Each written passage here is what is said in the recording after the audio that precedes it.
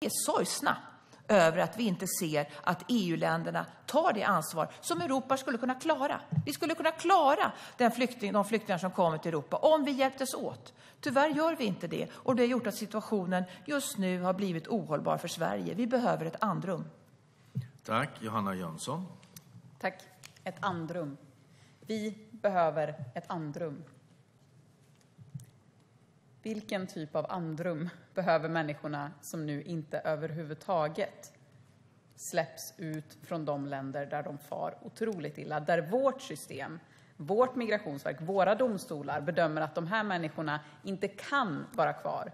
I Syrien, i Afghanistan, i Iran dit vissa skickas tillbaka trots att de inte ens är därifrån och så vidare. De personerna kan inte få något andrum i det här. Jag hör det här upprepas gång på gång på gång. Andrum. Som att det bara var att vrida ner kranen och så existerar inte de här personerna för en stund. Och det är därför retoriken med EU har stört mig. För att man får det att framstå som att det här går att göra på ett humant sätt. Det går inte att göra på ett humant sätt. Det ska man ha väldigt klart för sig här. De här människorna kommer fara otroligt illa i den här situationen. Otroligt illa. Och de tusentals, tusentals, tusentals personer som nu kommer att hållas ute med de ID-krav framförallt som ni ställer, med den anhöriginvandring som jag har nämnt tidigare som gör att familjer kommer att separeras, hållas isär och inte ha någonstans där de kan återförenas.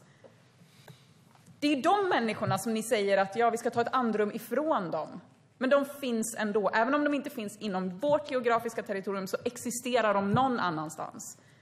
Och vad blir konsekvenserna i det? Jag önskar att man kunde vara tydlig, stå upp för att det är det man åstadkommer och att det är det som är konsekvensen. Att för att kunna försvara våra fyrkantiga byråkratiska system så är man beredd att offra de här människorna, för det är det ni gör nu. Lite ärlighet i det skulle jag verkligen uppskatta, även om jag förstår att det här är ett svårt beslut på många sätt. Tack.